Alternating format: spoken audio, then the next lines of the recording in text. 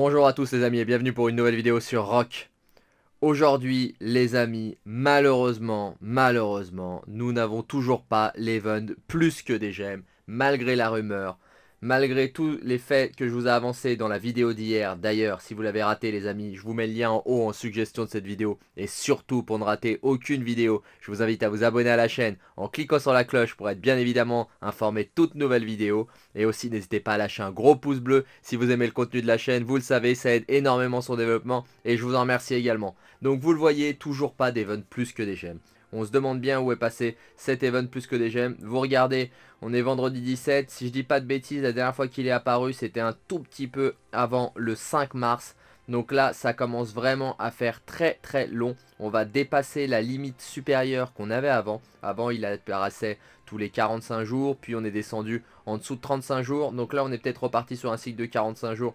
On va bien voir, on ne sera pas là en tout cas, même s'il apparaît euh, d'ici dimanche. On restera dans le cycle de 45 jours. Si c'est plus long, il n'y a pas de raison d'avancer en tout cas. Je vais, je vais solliciter le support VIP pour voir leur retour par rapport à ça, même si je ne pense pas qu'ils vont nous répondre.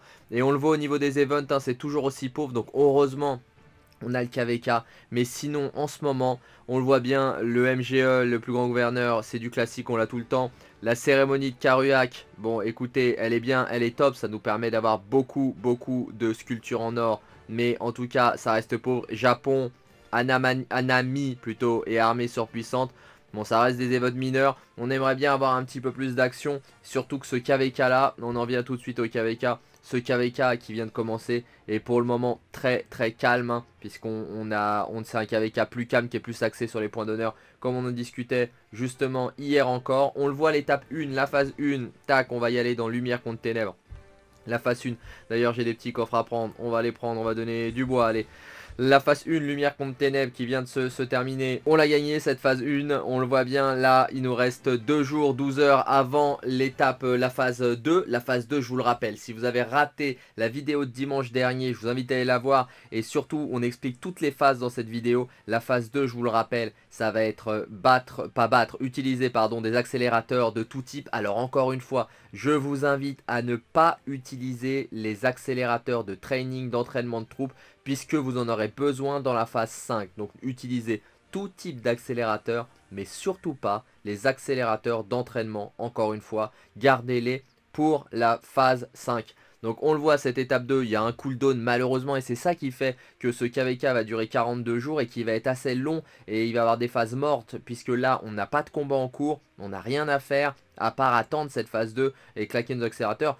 Donc c'est un petit peu un petit peu mou, sachant que également si on va dans les points de pH, alors les points d'honneur, si on y va, c'est dans roulement. On le voit, ça monte assez facilement. J'ai rien fait de particulier, j'ai pas encore euh, claqué mes potions de points d'action. J'ai déjà 13 600 points. C'est pas beaucoup, mais c'est beaucoup à la fois parce que 13 000 points sans avoir rien fait de particulier, c'est quand même énorme, juste farmer. Donc euh, ça monte vraiment de vie sur ce nouveau système. Et comme je vous le disais, donc on a gagné donc cette première étape, on perdait de 10 millions juste avant la fin. Et là, on a gagné. Donc si on va le voir, j'ai fini classé, ce qui nous a permis à tous d'empocher, enfin tous ceux qui sont classés. J'ai fini 140e, il me semble, voilà. Tous d'empocher des sculptures, une sculpture en or, parce que même le premier, il a que une sculpture en or. Donc euh, c'est bien. Je crois que c'est, euh, je sais plus les combien premiers, je crois que les 300 premiers ont une sculpture en or, s'il il nous le met pas. Non, il nous le met pas. En tout cas, c'est vraiment, vraiment bien. C'est une petite reward sympa. Et ce qui est sympa aussi, c'est les pièces de Soluna. Les 6 pièces de Soluna, les 6 fois 100 pièces de Soluna. D'ailleurs, si vous n'avez pas remarqué une petite chose, je ne l'ai pas vu tout de suite, je l'ai vu que plus tard dans le jeu. Donc peut-être certains d'entre vous ne l'ont pas vu et je vais vous montrer un petit truc sur les pièces de Soluna. Les pièces de Soluna, quand vous les gagnez, elles n'apparaissent pas ici dans la grâce de Soluna. Si vous allez dans la grâce de Soluna, vous voyez, j'ai 28 pièces là. Et bien si j'ai des pièces que j'ai gagnées en récompense, soit d'une étape, l'étape 1, vous rapportez des pièces, 29 x 100 par exemple, là je viens de gagner 6, et ben il les stack pas automatiquement là-haut. Il faut que j'aille dans euh, mon, mes objets et dans la partie ressources. Et tout en bas là juste après l'or j'ai les pièces qui apparaissent et faut les dépenser. Vous cliquez dessus et vous mettez utiliser comme toute autre ressource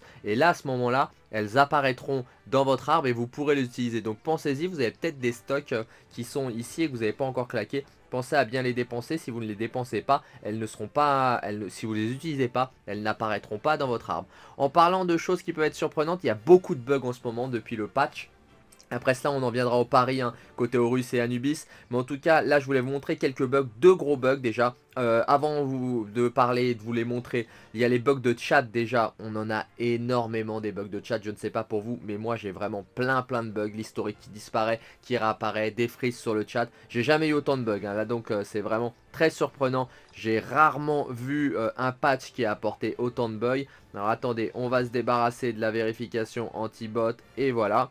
Et donc tous ces bugs là, j'en ai vu d'autres. Par exemple, regardez, certains ont quasiment le pire des bugs que, que j'ai vu. Regardez ce screen, ils achètent des packs. Pour ceux qui n'ont jamais acheté, quand vous achetez un pack, vous recevez un mail qui vous donne les packs que vous recevez, euh, les items que vous recevez, il y a un mail qui les résume et donc vous pouvez aller voir ce que vous avez acheté, même s'il vous les met automatiquement. Et bien certains ils achètent un pack, ils reçoivent ce mail là avec un icône qui leur dit contactez le support, super sympa quoi. Donc les mecs ils lâchent euh, quelques euros, quelques dizaines ou quelques centaines d'euros et ils reçoivent un, beau mail, ils n'ont pas leur item, ils ont un mail, ils doivent contacter le support. Quand on connaît la qualité du support, on se doute qu'ils vont pas avoir leurs items tout de suite, donc j'espère qu'ils ne sont pas pressés, faut pas être pressé quand on a ce genre de bug. Donc c'est le premier des deux bugs que je voulais vous montrer, qui est un peu le bug du moment et qui est assez... Euh, assez, bah, assez démoralisant. Il faut vraiment que là, euh, Lilith fasse quelque chose rapidement pour qu'on ait beaucoup moins de bugs, y compris le, chat. Hein. Et le deux second bug que je voulais vous montrer, regardez, pour, euh, pour aller voir vos KVK et préparer les chroniques, donc bien évidemment, je vous prépare, je me prépare à faire des chroniques suite à l'ouverture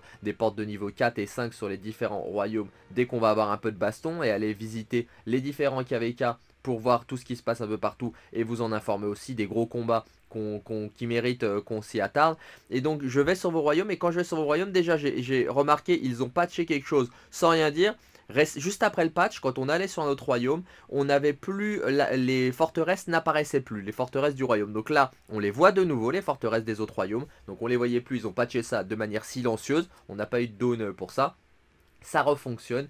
Mais regardez, si je retourne sur mon royaume, qu'est-ce que j'ai? J'ai un code erreur qui apparaît. Code erreur E9181.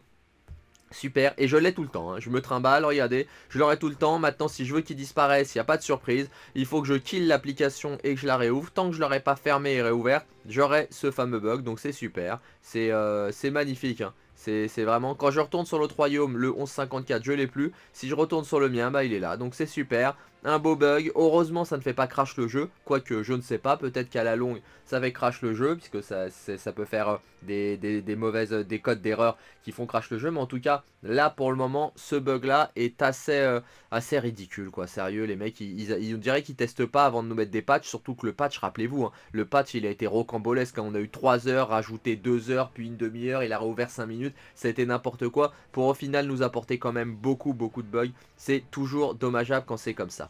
Passons à présent au pari du côté de la Ligue Horus. On ira par la suite voir le côté Anubis. Donc vous le voyez déjà sur les résultats des 16e de finale. On a trois paris, trois gros paris euh, de perdus euh, et surtout euh, un très gros pari de gagné. On s'est bien refait grâce au JWM2. On avait prévu qu'il gagne contre les UCS. Je le savais que c'était risqué. Je vous avais fait quand même au total 4 paris. 3 étaient risqués. 1 était peu risqué. Les SW contre les NB2. J'avais ça indiqué que c'était peu risqué que les SW auraient dû gagner, mais ils ont perdu. Ils avaient pourtant euh, la cote pour eux, mais ils ont perdu. Les 89 PX euh, et les 166 euh, points d'exclamation ont perdu eux aussi, mais c'était les paris dans la cote. Hein.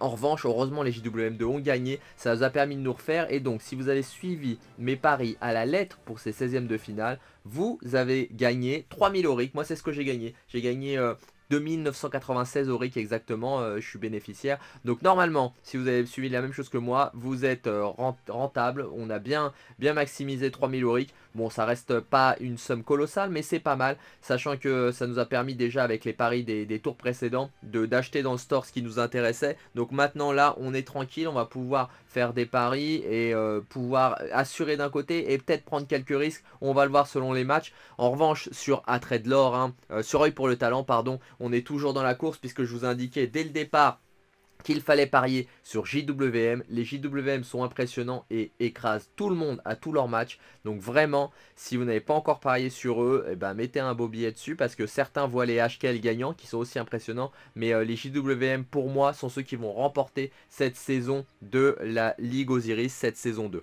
Passons aux mises en ligue à présent et on va voir mise de ligue pardon et on va voir ce que je vous conseille moi. Donc prenons, on va commencer par les matchs sûrs pour moi, les cotes euh, fiables. JWM contre P245. Donc on a les JWM qui sont ultra impressionnants, comme je le disais, qui vont rencontrer les P245, donc les P245 de Baba et Droni. Donc forcément, on a là un match dans le match, hein, puisque on a le, fait que les P245 avec Baba sont déjà une, une alliance et un serveur ultra visible. Hein. Ils ont quand même Baba et Roni, donc euh, le roi des baleines Baba et euh, l'un des plus importants youtubeurs de rock euh, qui est Legendary Ronnie qui vient de nous revenir en, forme hein, comme on l'a vu dans, la vidéo d'hier où je vous l'indiquais. Donc euh, c'est bien pour lui, c'est bien pour eux. Ils récupèrent un de, leurs commandants. Donc c'est top, ils vont être opérationnels pour ce match de, Ligue Osiris qui aura lieu demain, c'est le dernier match demain puisqu'il a lieu à 17h heure française, 15h heure UTC donc pour moi malheureusement pour Baba et Ronnie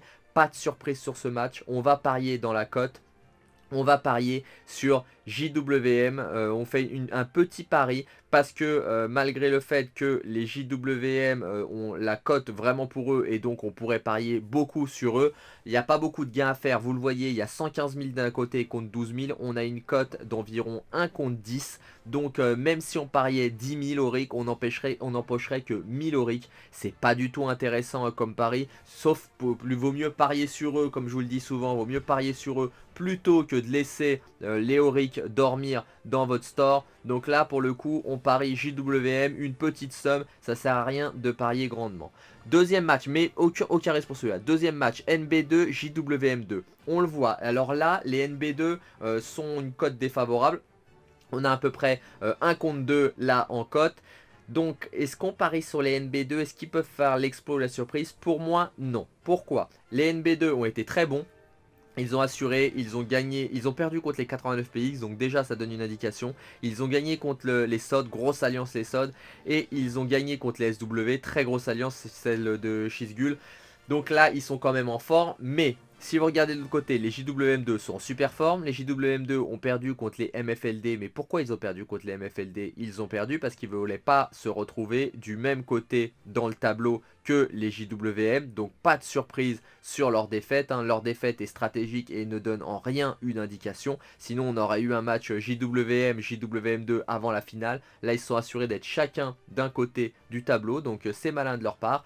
Et de l'autre côté ils ont battu les UCS qui sont les, les seuls qui ont battu pour le moment les OV depuis, euh, bah, depuis deux saisons. Il n'y a qu'une alliance qui a battu euh, les, les OV, c'est les UCS. Donc ils ont sorti les gros UCS qui étaient vraiment en super forme. Donc là, les JWM pour moi, la finale, ce sera JWM contre JWM2. Je me trompe peut-être, les OV vont peut-être s'immiscer là-dedans, les HKL vont peut-être s'immiscer là-dedans. Mais en tout cas, c'est une cote pour moi sûre aussi. C'est pour ça que sur ce match-là, je parie sur les JWM2. Si on continue dans les deux derniers matchs, et vous le voyez, moi j'ai quand même pris un très gros risque. Donc OV C9N. Sur OV C9N, je parie bien évidemment sur les OV. Les C9N sont une grosse alliance, mais pour moi, ils ne sont pas en Osiris, en ligue, du niveau des OV. Les OV ont pulvérisé les roses et les zéros. Les roses, c'était des très très gros clients, donc ils les ont vraiment maîtrisés. De l'autre côté, les MFLD, c'est pas n'importe qui non plus. Donc euh, les OV les ont sortis et ils ont maîtrisé pendant tout le match. Ils ont été perdants au tout début, mais après, dès que la machine s'est lancée, les OV ont été inarrêtables sur ce match-là. 6000 d'écart contre les MFLD, c'est énorme. Donc pour moi, il n'y a aucune surprise non plus sur ce match et aucune possibilité que les C9N gagnent. Donc ça sert à rien de parier contre les OV, sauf, euh, sauf un, cataclysme. Pour moi, les OV, les JWM2 et les JWM ne peuvent pas perdre leur match. Dernier match, et vous le voyez, j'ai parié gros sur les BBTH contre les HKL. La cote est contre moi. On a une cote de 1 pour, contre, euh, contre 4, une cote de 1 contre 4, donc ça veut dire qu'on va gagner 4 fois sa mise. Les HKL sont ultra favoris de ce match, les HKL ont écrasé les 1008, les GoGT et les K9T, et de l'autre côté, les BBTH ont battu les V163, les N3X et les 166 points d'exclamation. Alors, pourquoi? Regardez, les matchs, ils sont les codes des BBTH, leurs matchs, ils ont gagné à chaque fois de très peu. De l'autre côté, les HKL ont gagné largement. Les HKL sont en ultra forme. La puissance totale des deux équipes est équivalente. Pourquoi je crois au BBTH Je crois au BBTH pour la simple et bonne raison que les alliances, les gouvernements, les gouverneurs plutôt, ou euh, les royaumes, euh, les alliances de ces royaumes qui ont affronté les BBTH sont tout de même beaucoup plus puissantes en termes de stratégie de Ligue Osiris que celles qu'ont affronté les HKL. Excepté les 1008 qui étaient quand même en forme, je trouve que les V163, les N3X et les 166 sont des meilleures équipes Osiris et ont fait des plus beaux matchs avec plus de stratégie que de l'autre côté les K9T, les GoGT et les 1008. C'est pour ça que pour moi, le fait que les scores aient été serrés entre les BBTH et leurs adversaires n'est pas une indication fiable. Au contraire, ça nous montre que les BBTH ont vraiment maîtrisé de bout en bout leur match et pour, c'est pour ça que je parie contre eux et c'est pour ça que là, vu que moi j'ai plus besoin de mes auriques, j'ai déjà vidé le store en partie de ce qui m'intéressait, je parie fortement 5000 auriques, je pourrais en empêcher, empocher jusqu'à 25 000 auriques, donc 20 000 plus ma somme de départ si ça gagne et si ça perd, j'en perds 2500 et j'en ai pas besoin. Donc attention, je vous invite à suivre ce pari et à parier fort que si euh, vous n'avez pas besoin d'Auric particulièrement, investissez sur ce match-là en contre-code contre HKL, ça peut être un gros coup, mais n'investissez que les Auric que vous êtes prêt à perdre. Passons à présent du côté de Anubis. Côté Anubis, là, on le voit, on a été euh, plus précis dans les paris, hein, puisqu'on a eu euh, que deux paris perdants sur les CM de finale. Malheureusement, notre gros pari, les 47A contre les 1V, et eh ben les 47A ont perdu à la surprise générale de plein de monde. Euh, on m'a dit, on, m'a donné l'information que c'était à cause d'une, principalement d'une erreur individuelle des, des 47A. Bon, je n'ai pas plus d'infos que ça, mais en tout cas, c'était vraiment la surprise, et c'est là qu'il aurait fallu parler 1V, mais les 1V étaient tellement défavorables. Sur ce match-là que je ne les voyais pas du tout gagner. Et de l'autre côté, les BBQM, les BQQM ont perdu contre les VNFV. Aussi là, une surprise. Mais pour le reste, on est positif. Donc il euh, n'y a pas de souci. On est rentré largement dans nos frais là-dessus. Sauf euh, si vous avez parié beaucoup plus, beaucoup plus que moi. Et surtout avec les tours d'avant où on a fait des, gros coups sur les tours d'avant. Vous voyez, on avait encaissé par exemple Obu, Obu contre, je ne vais jamais le prononcer ça, contre F71Z où on a pour 430 on a encaissé 1180. Donc là, si vous m'avez suivi, vous étiez déjà blindé. Donc on peut encaisser une petite perte. Donc allons sur mise en ligue, on était déjà sur le bon tableau. 1V contre NBA 1. Donc vous le voyez, moi je pense que les NBA 1 vont gagner ce match. Pourquoi? Parce que je pense que les NBA 1 sont inarrêtables, sauf en finale. Là, ils sont très puissants, donc pour moi, ils ont maîtrisé tous leurs matchs. Et les 1V n'a pas sa place pour moi en quart de finale.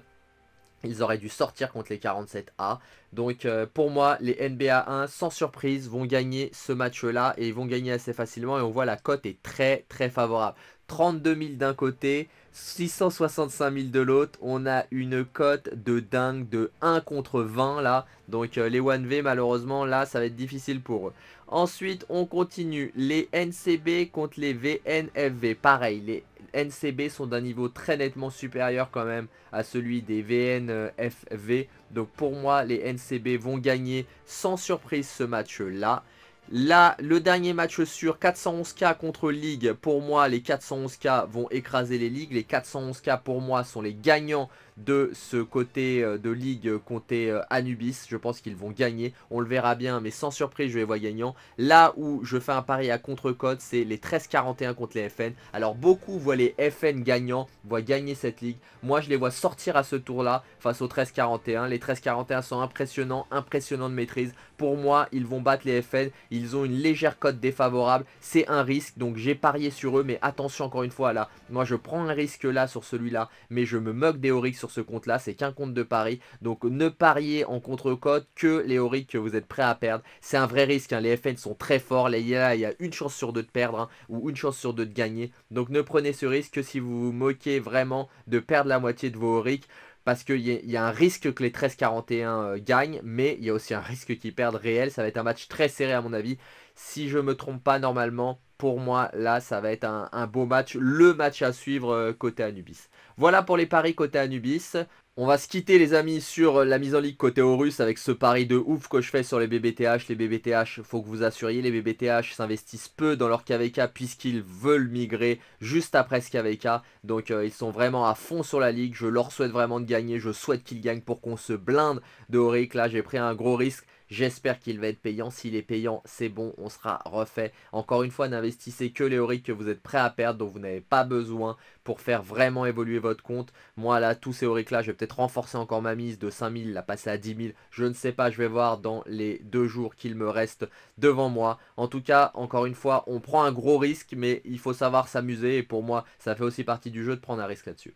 Voilà, écoutez les amis, j'espère que cette vidéo vous aura plu. Si c'est le cas, comme d'habitude les amis, n'hésitez pas à lâcher un gros pouce bleu. Vous le savez, ça aide énormément le développement de la chaîne. Et surtout, surtout, surtout les amis, si ce n'est pas encore fait, n'hésitez pas à vous abonner à la chaîne en cliquant sur la cloche pour être informé de toutes nouvelles vidéos. Je vous souhaite un bon jeu à tous, prenez soin de vous, et je vous dis à plus sur Rock